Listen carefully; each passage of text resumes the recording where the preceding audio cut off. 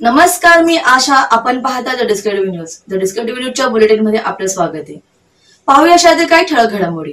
नुकत्याच झालेल्या इंडोनेशिया येथील बाली शहरात जागतिक किक बॉक्सिंग स्पर्धा झाली. यामध्ये भारत देशातर्फे डोंबिवलीतील ईशा भगत हिने दुसरा क्रमांक पटकावला. या स्पर्धेत एकूण बावीस देशांनी सहभाग घेतला होता. ईशाच्या या यशाने डोंबिवली शहराच्या शिरेपेचात मानाचा तुरा रोवला आहे. भारत देशासाठी ऑलिम्पिक खेळायचे आहे. भारताला गोल्ड मेडल जिंकून द्यायचे आहे असे डोंबिवलीतील ईशा भगतचे स्वप्न आहे.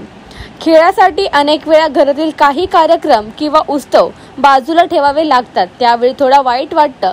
अनेक वेळा आता पुढे खेळू नये असे वाटू लागते. मात्र या सर्वांवर मात करून जेव्हा तुम्ही काहीतरी करून पाहता तेव्हा तुम्ही ध्येयापर्यंत पोहोचता असे ईशा सांगते. डोंबिवलीतल्या ईशाने आतापर्यंत अनेक मेडल्स प्राप्त केले आहेत. विशेष म्हणजे केवळ बॉक्सिंगचेच नव्हे तर व्हॉलीबॉल डच बॉल लांब उडी या सर्वच खेळात ईशा पारंगत असून केवळ एकच खेळ नव्हे तर चित्रकला डान्स या सर्व क्षेत्रात लीलया वावरत आहे.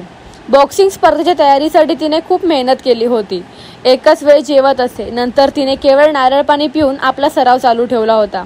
असे तिच्या आईने हेमांगी भगत सांगत आहेत. ईशा ही डोंबिवलीतील श्याम श्रीवास्तव यांच्या अर्बन आखाडा अकॅडमी येथे प्रशिक्षण घेत आहे. विशेष म्हणजे आगरी कोळी समाजातील मुली पुढे जात असून ईशा ही सर्वांसाठी प्रेरणेचे स्त्रोत्र आहे असे तिच्या मामा विशाल पाटील यांनी सांगितले. एकशे बासष्ट पदके दोनशे पेक्षा अधिक प्रमाणपत्र आणि वीसपेक्षा अधिक ट्रॉफी ईशाच्या घरी आहेत. मुलीने पुढे यावे. आपल्या कलागुणांना वाव द्यावा याकरिता पालकांनी मुलींना प्रोत्साहन द्यावे असे ईशा सांगते. तसेच तिच्या ट्रेनिंग सरांचे नाव हे श्याम श्री कुमार आहे. खूप छान एक्सपिरियन्स होता.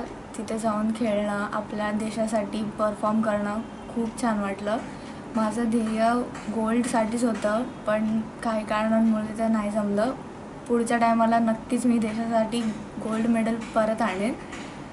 आणि माझं पुढचं गोल ऑलिम्पिक्सच आहे.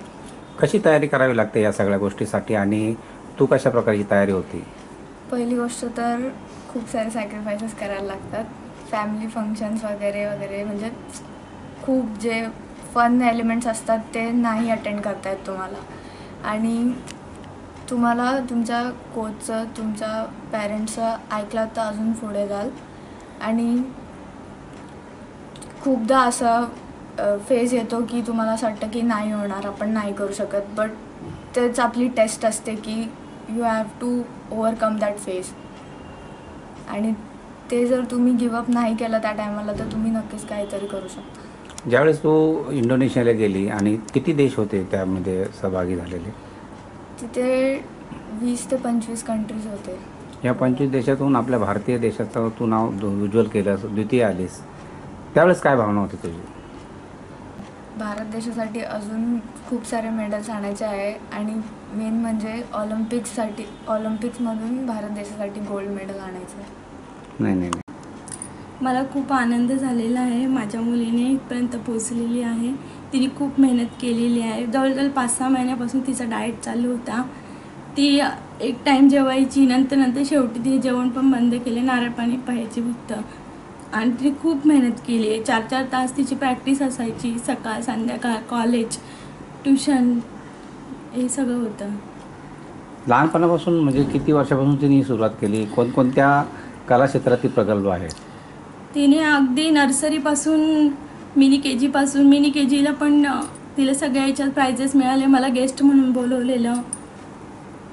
डान्समध्ये ड्रॉइंगमध्ये रनिंगमध्ये व्हॉलीबॉलमध्ये डॉजबॉलमध्ये जम्प रोपमध्ये जम्प रोपमध्ये पण तिचा पहिला नंबर आलेला होता सर्वोत्कृष्ट खेळाडू म्हणून. सोलापुरात तिचा सत्कार झालेला एक मुलगी आणि एक आई म्हणून बघताना कसं कसं बघता तुम्ही? काय वाटतं तुम्हाला आज त्या मुलीकडं?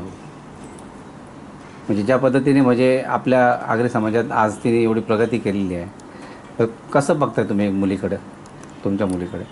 माझी मुलगी म्हणजे मी माझा मुलगाच समजते. ती खूप पुढे जावं ही माझी इच्छा आहे.